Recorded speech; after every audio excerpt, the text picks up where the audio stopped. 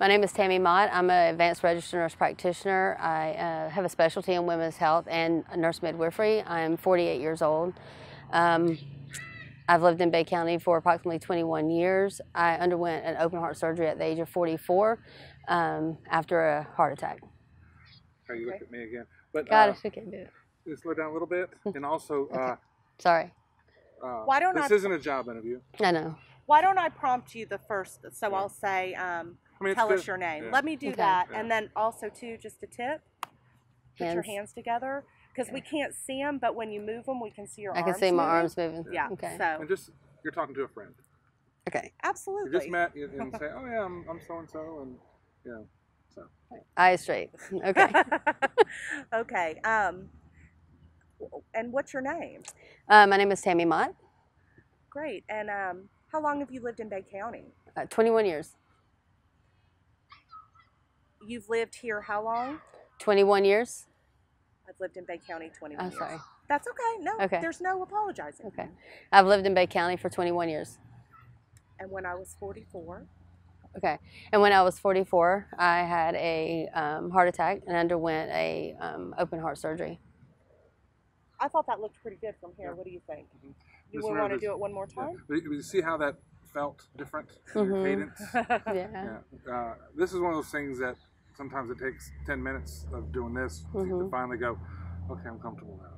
Yeah. So hopefully we can bypass the 10 minutes. But again, I it's know, just, you know, right. you just you, you just sat down and, and she wants to know about you. You know, you would never do that. You know, uh, No. You just say, oh yeah, I'm Jay Granberg and I've lived here 21 years and Okay. I had a heart attack. You know, just conversation. Yeah. Okay. So we're going to start again. Gonna Deep start breath. again Mhm. Deep breath. Okay. And just do it myself or Sure. Do Okay. it yourself. Okay, my name is Tammy Mott. I am 48 years old. Um, I've lived in Bay County for 21 years. I am a local uh, um, advanced registered nurse practitioner with a specialty in women's health and nurse midwifery. Um, I had a heart attack at the age of 44 and underwent open heart surgery. That's good. I thought that was good. See this how that felt. Just Mhm. conversation. Okay. So we're going to talk about the symptom part. Okay. So, but we don't, we need to condense it. So maybe just an overview of what your symptoms were Okay. and how you should have known better, but you were ignoring them. So Okay. something like over a period of a weekend, I was having shortness of breath and back pain and um, extreme fatigue, um, nausea, vomiting, gas gas pain, taking all kinds of medications and um, blaming different things for the symptoms. And I really should have known better. Yeah. And also remember, think of her Were you as recording that? Mhm. I thought that was good. Yeah. Okay. just think of her as somebody that you see the symptoms in, and she's ignoring them. Mm-hmm. And it's like you're telling. It's like this is the reason why I'm concerned about you. It's because with me, I did this and I ignored it and I did this and this. See, Okay. and it comes across. So you know, tell her that she needs to be concerned. Okay, let me think about that for a second. Yeah. Because when I get into that, when I get into the education part with Right. a patient, it is a lot lengthier and a lot more Oh, I know, medicalized. I know. And so, she- and I don't know. I've got to. Jay doesn't know that part, Okay. but after, so she, she had this horrible thing happen to her. She made um, a massive lifestyle Mhm. change, um, and she is a rock star now. And she recognized that women, in particular, don't recognize the signs and also don't take very good care of themselves. And a lot of times, their um, primary care physician is their OB. So she actually educates patients about heart disease hmm as an OB practitioner. Oh. As Yeah. so, so there's a whole Oh, yeah, yeah, component of that. I guess this is like the elevator, your elevator speech. Yeah. It's Yeah. when you say, you know, you need to, you know, because people do it to me all the time. You need to worry about your health because, you know, hmm health disease is this, and you know.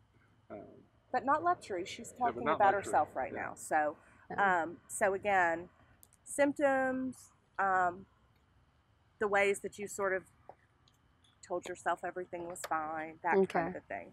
And again, we can edit out if there's any hiccups, so don't worry about that. Okay. Okay, so tell me about what led up to your heart attack and open heart surgery.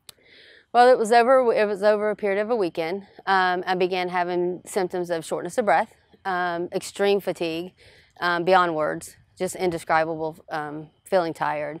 Um, a lot of just gastric reflux, um, belching, nausea. I had spent the weekend on call, up long hours, um, helping deliver babies, um, wor- working in weird positions, not eating well, eating white bread, things I'd cut out. Um, so over that period of time, all these symptoms I just added up to being because of the things I'd done. The back pain was because of my position. The shortness of breath was because I ran. The fatigue was because I was up half the night. Um, I got my grandson. I was running with him during that period of time, walking along the beach, doing things like that. So I began having these symptoms. So it was all a reason for it. It never dawned on me that I was actually experiencing a heart attack. Um, just spending time with my family. Um, making poor decisions, not doing the things that I needed to be doing to take care of myself led up to these things. Don't move. What was the hand for? I thought you were getting ready to tell her that there Oh. was a it was Oh. like a little ladybug or something on your Oh. sweater, but you were doing so well. I thought he was getting ready to say stop so we can get that, and I was like, no, it's great. I have software digitally. Sorry. that now. that Yeah. was very rude, and I didn't, but I didn't want to It's talk and screw it up. Yeah. So, um, no, I thought that was great. Um, so, um, going over what those symptoms were and what you were, that was really good. Can we um, add in because I'd like to to cut this part in. Um, go back to you know being a healthcare professional, Mm-hmm. having the training that I do. I should have known better. Right. Also, let me start off with a question. Repeating the question. It's like, it's like she Okay. went she went straight into that uh, statement with no correlating information, so she sounded weird. Well, but no, it- I think you can cut the very end of what she said before and and Okay. scooch it in there, and it would be Just when fine. you talk, it's like one of the reasons, main concern I was concerned about. Instead of going like, uh, I was concerned about this and this, it's like it's sort of quantify the what you're about to say. Um, It makes the editing So- easier. if you will, um, so I'll ask the question again, and um, so you're a nurse practitioner. You've had a lot of education. Um, why did you let this go on as long as it did? I do have a lot of education. Um, I've studied cardiac disease and heart disease in women many, many times throughout my career um, in my in my years in school. Um, I think the symptoms are just so vague for us. Um, we don't have the typical chest pain, crushing pain up your neck, down your arm. What we have is the back pain, the GI upset, um, and we always blame it on something else. And so I didn't, I didn't put the pieces together. If I had stopped and taken time to just take care of me, as women don't do, I would I may have put those pieces together. But because I was taking care of this person, working, trying to do what we women do, we multitask. And so doing those things, I didn't stop and see what was happening within my body. That's perfect. Yep, that was excellent. You excellent. couldn't have written that better. No, no, that was fantastic. Yeah, 'cause Okay, you just so- told us. Mhm. You think about just told us. So the day you went to the emergency room, Mm. um, and and start off with the day I went to the emergency room um, in your response. But tell us about that day. Hold on. Let me Oh, sorry. Check my phone. Sorry, I talk with my hands too. So Oh, if I sat on my hands, Yeah, I'd never say another word. Don't worry. I think it feels authentic and like we are having a conversation. I don't Mhm. think it looks weird. okay. If you were, you know, doing this, then that might be, but Mhm. not just gesturing. That's that's good. I'm going to get a little bit closer now. Just, It's up to you. I just went a little bit closer. Just And talking about the getting a little bit more intimate. And talking about the day I went, like once I got to the hospital, I can talk about when I got there and when they gave me morphine and what I kind of remember about the angiogram, but I was drugged up. I don't even So, know that you okay. need to go into the specifics. Okay. okay. This is really more about your thoughts, your feelings, what you experience, not necessarily the intricacies of the procedure. Okay. Um, because that's for somebody's doctor to explain to them. They don't need to get that level of education from this Okay. video. Okay. Um, so tell us about the day you went to the emergency room. So the day that I went to the emergency room started probably about 4 a.m. Um, I was taking care of my grandson. He had been spending the night, and he had an accident. So I got him up, got him dressed, got everything changed, and as I was doing that, I started just having the excruciating back pain. The back pain is indescribable. It's you want to just move and push and touch and just move around, and it took me about two and a half, three hours just to even lie back down. And I should have said at that moment, I need to go to the ER. But I didn't because I had him, I had responsibilities. So my daughter came home. My husband actually woke me up, and I was at that moment I was like, I'm gonna go to a walk-in clinic. I there's something going on with my lung. I'm a smoker. I probably have lung cancer. I need to go have it checked out. So my daughter came in and I told her, I said, I'm not going to go to work today. I'm just going to go in, let them cancel all my patients, and then I'm going to go to a walk-in clinic somewhere. I didn't have a family practice. We use our GYNs. So I go to the office and I'm getting out of my vehicle and one of my physicians that I work with, Dr. Ingram, he actually yelled across the parking lot at me and asked me if I was okay. And I was like, I'll be up there in a minute. So I came inside the building and I was walking to him. Another physician that I work with, Dr. Makeda, he says, Are you okay? You look like shit. and I said, Well, I'm thought I was, but now I think that I, maybe I need to go to the emergency room. And they both looked at me and said, absolutely, you need, we need to go. So me, being the independent woman that I am, I grab my keys and I hop in my car. Don't ever do that. And I drive myself to the ER. And the docs thought that they were going to take me. And so I got to the emergency room and I parked across the street from the emergency room. And I got out of my vehicle and I walked across the parking lot and up a hill. And as I walked into the emergency room, I was so short of breath, I could not speak. My back was excruciating pain.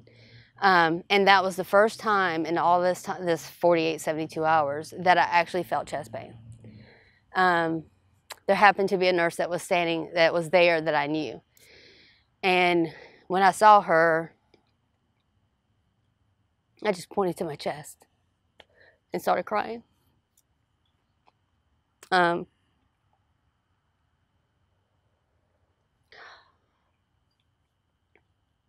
at that moment, she came around, grabbed me, got me into the ER, put me on a bed, got an EKG, um, started shooting me with morphine and nitro, and just doing all the things that, that we do, thanks to American Heart Association teaching us to do.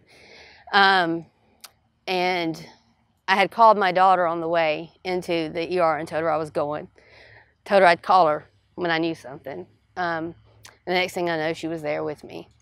Um, thankfully, she began to help make decisions on what to do because morphine kind of messes with your brain a little bit. Um, the only thing I really remember is um, just everybody telling me that I just had a heart attack. And what do you do? You're 44.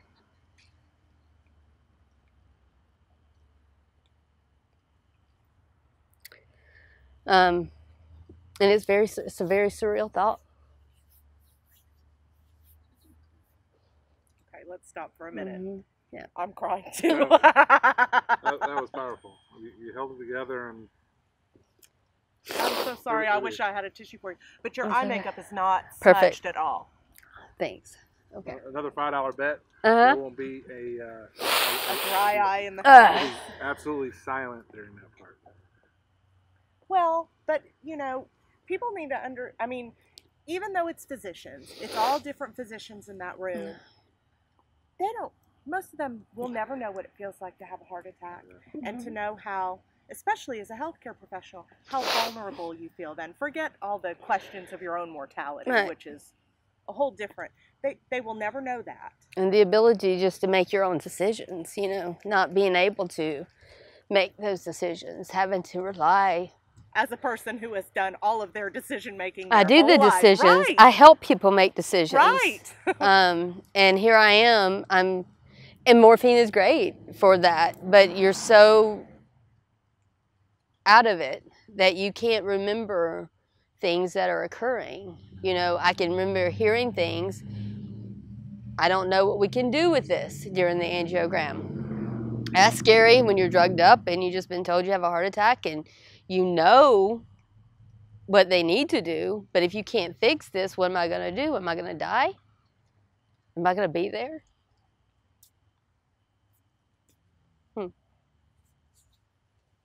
So you have, they do the test, they determine that you have had the heart attack. Uh-huh. So what what happens after that? Is that when they you're transferred for surgery? Yeah, or- they come in and they start asking me what doctors do I want and all these things, and I'm like, I don't know. I don't know surgeons and cardiologists, and I don't know these people. And you know, the good thing is I work with some great physicians, and so they help me help guide me in those decision making. I'm very blessed. I'm blessed with the physicians I work with. I'm blessed with the family I have. I'm blessed with the coworkers at the hospitals. I'm, I'm just blessed to have people that can help me make those decisions. And at that point, I was transferred to another facility. Um, and when I got to that facility, it was very strange because I didn't know anybody. I didn't know these people. Didn't know there were phone calls being going back and forth for people to take care of me. Um, and when I got to the other hospital, I was told I had to wait for two days before I could ever even have my surgery. I thought, because I'm under the influence, I thought I was going over there and having open heart surgery that day. I didn't realize I was going over there for two days to think about, in my mind, what I had done to myself. I had family history. I mean, women in my family all had heart attacks early in their life, but I knew that made poor decisions, poor eating habits, no exercise, smoked cigarettes, ate fast food, just insomnia, staying up, just the things that you shouldn't do. And so I had two days to think about that. Um, and I don't think anybody else understood that that's what I was thinking about. And the doctor's trying to keep my stress level down, keep people out of the room, trying to keep me as safe as possible. But in my, my own mind, I was condemning myself for what I had done. The good thing is, is that uh, two days I made decisions, and those decisions were to change my life. Um, the day I had my heart attack, the day I walked into the ER, um, was the last day I've ever had a cigarette.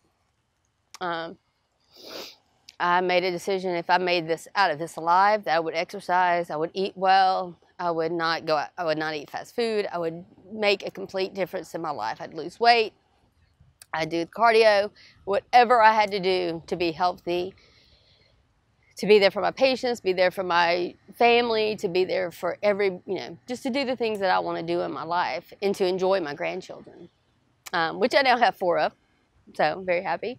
Two of which I would have never saw. I would never met them and their joys. Um, so I took those two days and I made those decisions, um, and then I underwent open heart surgery. Um, I knew it was going to be painful, um, but I'm strong, and I came out of the um, anesthesia. Here. Um, with my family over me, so I could see them, and I I love that. I love that. And I had great. Here comes the rain. No, oh, it's not. it was your your hair Yeah. was. Is that right? Or just the- The I think it's just leaves. Yeah. I don't feel any moisture. Woo! Yeah. Oh God, your bag's going away. It's always emotional to talk about this stuff. Yeah, the thing is, is that it's, you know, people at home, Mm-hmm. they're like, you know, cigarettes. They take it, ooh, I'm high. These are like crack addicts that Mhm. it takes a lot of drug to get them to feel. Yeah. You're the lot of drug to get them to feel. Yeah. you know, they, I mean, they spent last 30 years dealing with people like you. And, Yeah. You know, so you got to really hit them hard. Yeah. I wanted to go back for just a minute Okay. um, before we make the the transformation Okay. and and what you're doing now. Go back to you're at the hospital in the emergency room. They had run the tests. Tell me about when they came in. Your daughter's there and told you that you were going to have to have surgery. That's a hard one because I, I remember some of it. Um, so when they came in and they told me that I was going to have surgery, my daughter, my um, and my husband both were there um, at that time, and it was my first thought was seriously, seriously, I'm 44. Um, why is this happening to me? Am I going to make it? Am I going to survive? Um, am I going to see them again? Um, and why did I do this to myself? That was the, the big one. I didn't mean to make you It's to okay. tear up again. I It's just okay. thought that was, you know, we transferred to the other hospital, but there was no you have to have heart Yeah. surgery Yeah. piece to explain. So let's go back to you wake up after the surgery. Your lovely family is Mhm. there with you. Yeah, You've made a decision Yeah. to retake your life. right. Okay, so let's start there. Okay, so I wake up and my family's there with me. Um, it was pa- very, it was painful. There's no way about that. Um, but I made a decision that my life was changing, and I actually had a conversation with my husband um, because he was a smoker too. And I told him that I did not want cigarettes around me. That this was a choice that I made, and this is kind of um, how I tell my patients now, is that I always have the option to smoke a cigarette. I'm not depriving myself. I'm a grown woman. I can go to the grocery store or the gas station and I can buy me a pack of cigarettes at any time that I want to. The difference with me stopping smoking this time is that I choose to. Deep in my heart, deep in my mind, I no longer want to be a smoker. And so therefore I'm not depriving myself of it. I'm making a decision. And that's what happened while I was in the hospital is I made a decision that I would no longer be a smoker, that I would no longer allow bad habits to take my life away, to take me away from my family, to take me away from the things that I enjoy doing in my life. And so when the nurses would tell me, okay, you got to get out of bed, you got to walk the floor four times, I would get out of bed and I'd walk the floor eight. Um, I would make conscious decisions about what I ordered from the menu in the hospital. You know, what am I going to eat today? Am I going to eat green leafy vegetables or I'm going to order a hamburger with bun on it? Those types of things. Am I going to get the sugary stuff? So I made a decision. I'm going to eat the greens. I'm going to eat the healthy foods. I'm going to um, just take better care of myself. Um, I got really close with a lot of the nurses in there, a lot of the techs, um, even the cafeteria ladies, the food services. They would, they knew me, and they knew that I was, you know, one one of them told me, she says, when you leave here, you're going to do amazing because you've made a decision to do it, and I think that's what it takes is that decision. How long were you in the hospital? All total, um, seven days, um, from a Monday to a Sunday. I was there Monday and Tuesday um, waiting for surgery. Monday I was on the floor. Tuesday I was in the ICU. Um, Wednesday I had my surgery in the ICU. I think Thursday I went back to the floor, and Thursday, Friday, and Saturday and Sunday I were on the, was on the floor. I went home on a Sunday, my one of my son's birthdays, and Father's Day. I got to go home. Wow. hmm It's amazing how fast they can do open heart surgery now. How, Yeah. how fast Yeah, I was told I was pretty fast. I was told I was quick. I was told that I did really well. And um, the physician that did my surgery told me if I did everything that he asked me to do, that he would let me go home in four days. So I did everything he asked me to do and a little bit more just to make sure I got to go home. um, so I think we can, because you've already alluded to some of the changes you Mhm. made. So let's just say briefly, just so we have it. Okay. Um, once you got out of the hospital, you talk about, Mhm. you know, you you created an exercise program for yourself. You did stick with the healthy eating. You- You, had really made a life change, and you held yourself to Mhm. it. So And actually, on my way home from the hospital, um, one of the biggest places that I would smoke was in my car, riding around, driving. And so I got into my car, and I thought there was a thought that crossed my mind, and it and I thought I could have a cigarette. And then I said to myself, "You got to be stupid. This is not what you want for your life." And so for me, that was the defining moment, because in the hospital, I couldn't go and just smoke a cigarette. But driving home in my vehicle with my husband, if I wanted to smoke, I could have smoked that cigarette. And I made that decision that day that I'm not doing that. it's raining. I just Yeah. felt it. We'll Okay. It's just, All right. yeah. So let's. Um, Um, this stuff can handle moms. Okay, but let's. I want to get to the end, and then we can come back and do Okay. that more. So, I don't um, want you to chew either. talk about how you recognize that um, you recognize that other women in your your patients, Mhm. other women didn't have the understanding or the tools to to create better heart health. Yeah. So talk a little bit about Okay. that. So, as a nurse practitioner, I'm normally um, in GYN. A lot of times, we are that woman's primary care provider, and so I have begun since my um, experience to ask women about their smoking, about their family history of heart disease. Um, when I determine that they are a smoker, or they have poor eating habits, or poor exercise habits, or they have a family history, I do um, share with them my story. Um, and I begin to share with them changes that they can make. I talk to them about, you know, making that decision to quit smoking. I talk to them about the importance of doing just walking for an hour a day. I talk to them about eliminating um, fried foods, fat foods, and just incorporating good, healthy eating habits into their diet and being screened earlier for their lipids and their, their cholesterol levels. Um, and being seen by a cardiologist earlier if they have a family history and just going to the American Heart Association website, looking at their diet, looking at the warning signs, um, and paying attention to themselves and not always taking care of others. Um, which I think is a huge service. I just have two more questions. Okay. Can we just been do the uh, the, the end stuff? That's what she's doing. That's Okay. what I was going Mhm. to say. So, um, many people in this audience have supported the work of the American Heart Association for years. Um, what would you say, and make sure that you answer back with the question, um, what would you say to the people here who have supported the American Heart Association before? So, what would I say to those that support the American Heart Association that are here? Thank you. Um, if it wasn't for the contributions of people, we wouldn't have the education to save women like me. Um,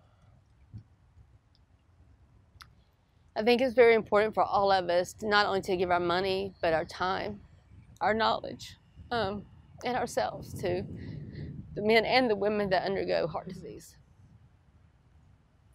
I don't even know that I need to ask the second question. I think that was good, don't you? Yeah, I mean, yeah.